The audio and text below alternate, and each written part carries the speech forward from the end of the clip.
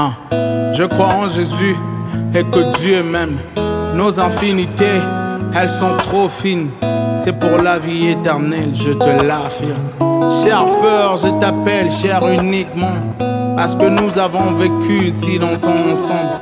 Tu m'as empêché de faire les choses que je voulais et que j'aurais dû faire si longtemps. Je ne peux pas t'empêcher d'apparaître dans ma vie, mais j'ai décidé de t'ignorer totalement.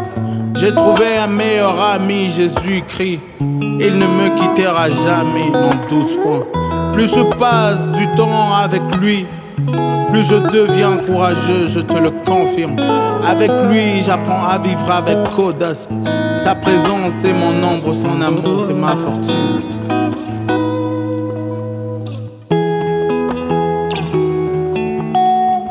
Même si tu me visites encore, après avoir lu cette lettre, je t'ignorerai avec la dernière énergie de ma vie.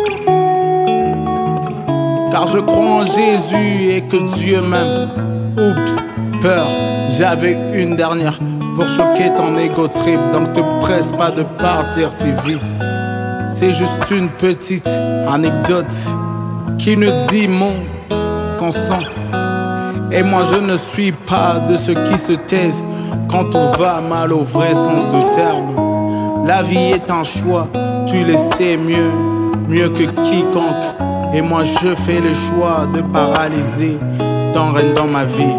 Comme le roi David devant Goliath, je veux me montrer judicieux dans tout ce que j'ai dit ou écrit. Je veux être fait juste dans mon jugement. Quand tout me paraissait sombre avec toi, je me rappelais d'une chose si simple. Si Dieu peut changer la nuit en jour, le triangle en carré, la mort en vie. Il peut donc transformer ma souffrance en joie, ma peur en courage, ma faiblesse en force, ma frustration en équilibre mental. La vie n'est pas une plaine de jeu.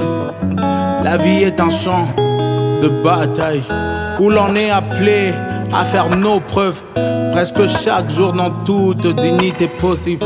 J'ai décidé d'être l'expression du courage, la référence d'une vie paisible.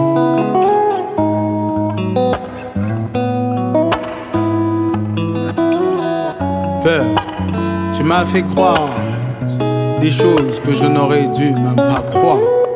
Pendant que toi tu paralysais tous les sens de ma vie, Dieu me voyait comme Gédéon, ce vaillant héros qui sauverait tout un peuple, toute une nation. Merci. La peur saine, c'est la peur d'être un seul moment sans Dieu dans ma vie. En vrai, je voudrais te dire ceci, je crois en Jésus et que Dieu m'aime. Goodbye va loin de